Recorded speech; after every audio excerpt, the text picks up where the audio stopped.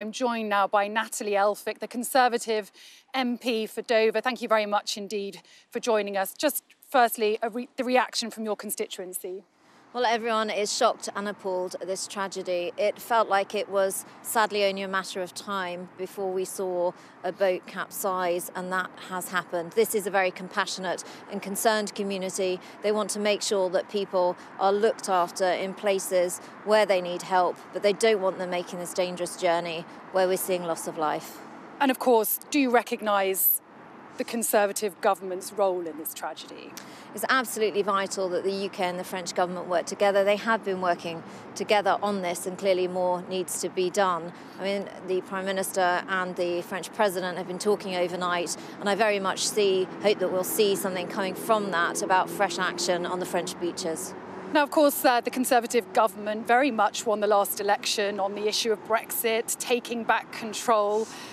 Is this humanitarian crisis we're seeing unfold in the Channel what taking back control looks like? What we are seeing across the channel in the small boats crisis is criminal activity, pure and simple. We are seeing the people smugglers preying on vulnerable people, taking their money, putting them into boats, and not, frankly, caring whether they live or not, making this dangerous journey. We've got to tackle it, and the best way to do that is stop the boats leaving in the first place and keep the boats, keep people safe in France. But, but surely the government has shown a lack of care too, hasn't it? It's taken 27 people to die for President Macron and Boris Johnson to pick up the phone to each other and promise urgent action. There's been really good working together with the French and what are called the juxtaposed controls, the legal controls between Britain and France for a very long time now.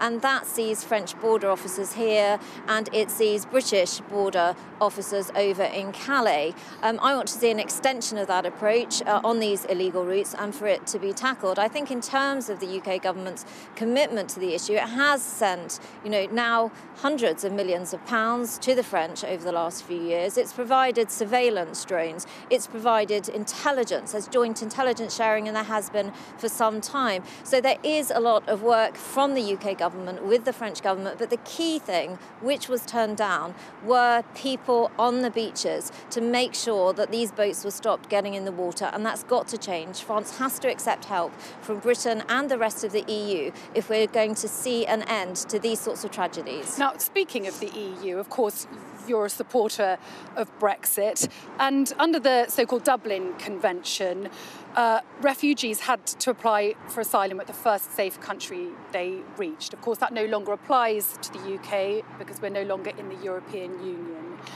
Has Brexit made things worse?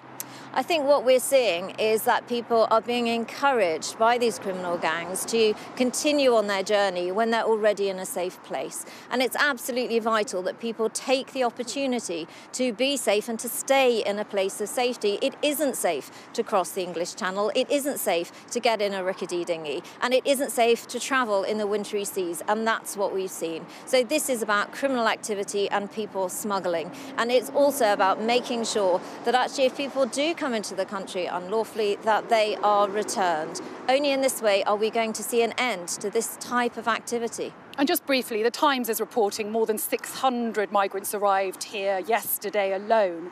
What numbers are you hearing? It was very large numbers again yesterday. We've had 25,000 arrivals, now getting on for 26,000 arrivals. But yesterday specifically? Alone. Yesterday specifically, I haven't had a confirmed number. I think it is in the hundreds, as you mentioned.